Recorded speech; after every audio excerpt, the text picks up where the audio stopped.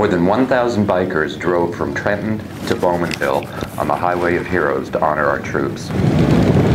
Watching all the people on the bikes and watching the people on the bridges, it really means a lot to all the troops in that.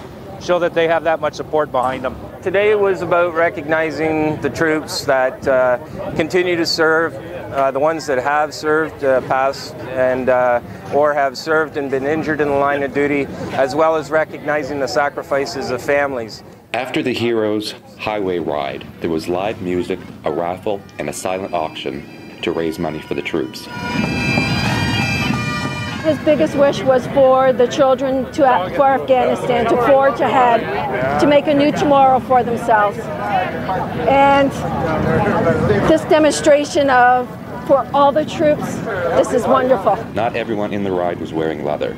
Some Toronto Sun Sunshine girls who took part in the ride added a splash of fashion. And we're just downtown, beautiful day, um, here to support the troops. For the Toronto Sun, I'm Kevin Connor.